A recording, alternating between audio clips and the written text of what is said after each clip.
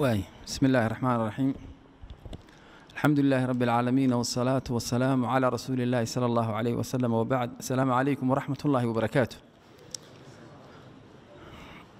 annagu arday horeo sheekhaa ayaa aniga iyo qolo kaloo halkan fadhida aanu nahay.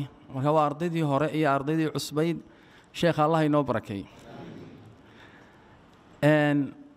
maadadan runtii walaalayaal aada baranayseen waxay ahayd maado ka mida maadooyinkii qur'aanka kariimka ah la xidhiidhsanaa oo tafsiirkii ah oo kuugu muhiimsana. In sirta ilaahay uga jeedo aayadihiisa inta la dhugto la fasiro laga soo bilaabo nebi maxamed muxuu ku fasiray saxaabadu maxay ku fasirtay? Taabiciintii taabici taabiciintii ilaa hadda. Marka sheekhu xilka uu inoo qaaday waxa ay ahayd tafsiirka qur'aanka macnaha ilaahay uga jeediyo muraadkeeda intii awooddiisa inuu inoo dhigay. Waxaan jecelahay ma kelmadda wacdiga. Waxaan uga tegi doonaa culimmada kale. Anugu waxaa laga yaabaa sheekh dirir dadka halkan fadhiya dadka ay isugu aqoonta badnaayeen inaan ahay ama ay in badan soo wada noolaayeen. Marka inaan taariikh yar tafsiirka wakhtigii la bilaabay iyo sheekha dabaa'icdiisii waxoogaa yar oo tusaale ah aan ka soo qaato shan mirirna igu dhaafi mayso insha allahu tacaala.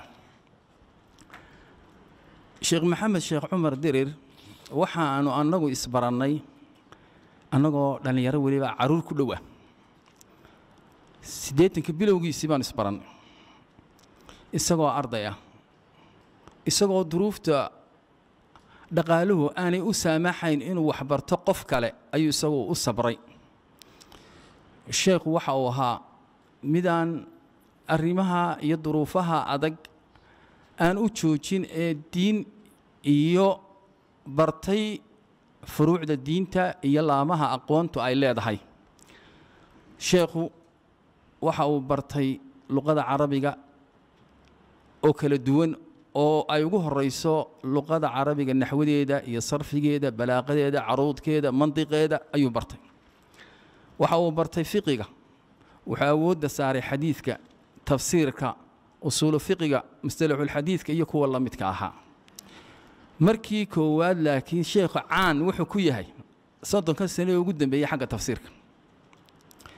Laakiin kuwa kalena wuu dhigay.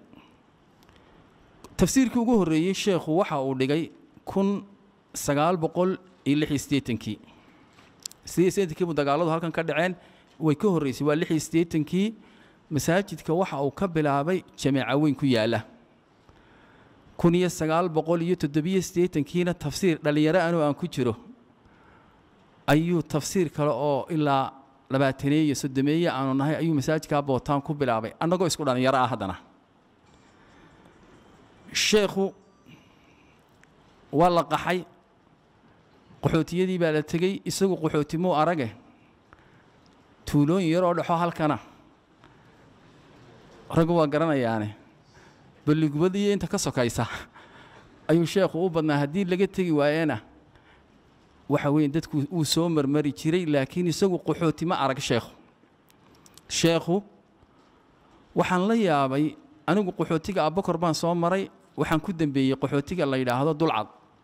Koob iyo sagaashankii markii dalka lagu soo noqday ayaa waxa aan maqlay sheekhi masaajidkii rusheeye ayuu fadhiyaa. Waa bilowgii waa february january baa la soo galay dalka gebagabadeedii ayaan maqlay tafsiirkii sheekhu waxa casharuu ka bilaabay.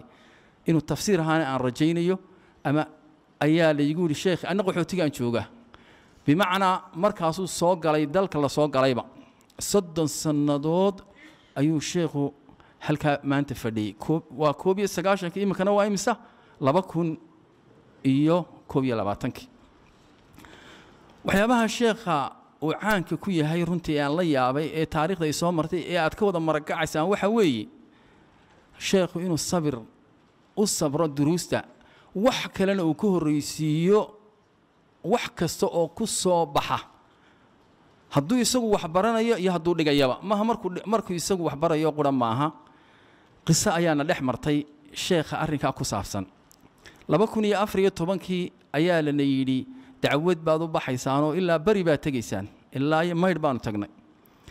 Ardaydiina wuxuu sii fasaxay toban cisho. Tobankii cisho ayaa nagu soo koobmay. Isku qol baanu ceerigaabo wada gallaa. Dabadeedna habeen dambe caawa waa jimce. Habeen dambe oo sabtidu idinla ballamay. Anugu waxaan lahaa dad waanay naga codsadeen runtii reer ceerigaabo iska yaro jooga bay yidhaahdeen. Iska yaro jooga. Dabadeedna wuxuu ihi arday baan la ballamay. Ma jarayo way soo xaadirayaan. War sheekh telefoon baynu u diri doonaaye. Anaaba lahday war sheekh ka daa. War sheekh maydh baynu ka soo gallay. War safar badan baynu soo gallay. Saddex habeen baanu sii soconnay.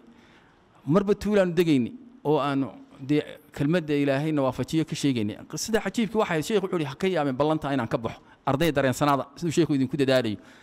Kowdii habeennimo iga dulkacay labadiina gaadhigii lankruuserka habaa yimid. Waddaduna tan imaka ceerigaabee taqaanaan maahe waa laba kun iyo afar iyo tobankii oo lamaba hagaajinba. Halkii buu ka soo dhaqaaqay. Wuxuu ila soo hadlay salaaddii jumco ka hor. Markaasuu igu yihi sheekh iyo berbere dhexdeedaan maraya. Markaasaan war maxaa soo qaaday sheekha? Salaaddii casar buu haddana ila soo hadlay. Markaasuu igu yihi qolkii yaraa masaajidkan ku jira. Gurigiisii muu tegin dharka ilan dharkaygii waanu sii qaadanee intuu dharkii uska gahaa iska saaray ayuunbuu gashaday uun maxay bedlad kale tafsiirkii buu habeenkii idiin dhigay. Waa cashar weyn.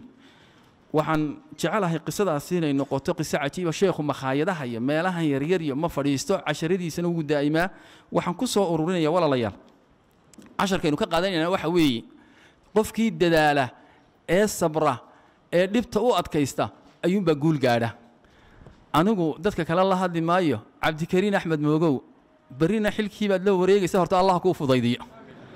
Laakiin maadaama ilaahay kuugu beegay caawa casharkii iyo ducadii uu kuugu beegay casharada aad ka faa'iidaysanaysa ee aad ka qaadanaysa sheekh dirir waxa weeye sabir weeye dulqaad weeye ammaanadoo la ilaaliyo weeye ammaanada cilmiga waa kaa ilaaliyey waaba naxayba iminka markuu cabdinaasir oo inoo xidhiidhinaya yidhi hal habeen buu sheekhu jaray waaba naxayba waan u qaadan waayeba.